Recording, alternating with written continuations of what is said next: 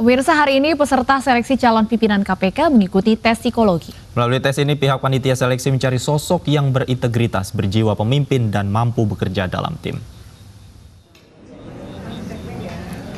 104 peserta calon pimpinan KPK yang telah lulus uji kompetensi mengikuti tes psikologi pada hari ini. Tes psikologi dilaksanakan di Pusdiklat Kementerian Sekretaris Negara, Jakarta Selatan. Para peserta datang ke Pusdiklat pada pukul 7 pagi tadi. Sejumlah sosok lama KPK juga hadir, di antaranya Basaria Panjaitan dan Laude Muhammad Syarif. Tes ini berlangsung selama 6 jam dan hasilnya akan diumumkan pada 5 Agustus mendatang.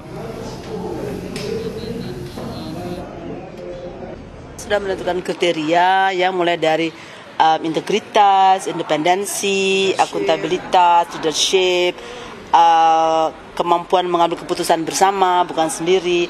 Itu adalah syarat-syarat yang kami tentukan dan uh, tentu saja ini juga sesuai dengan apa yang ada dalam peraturan undang-undangan.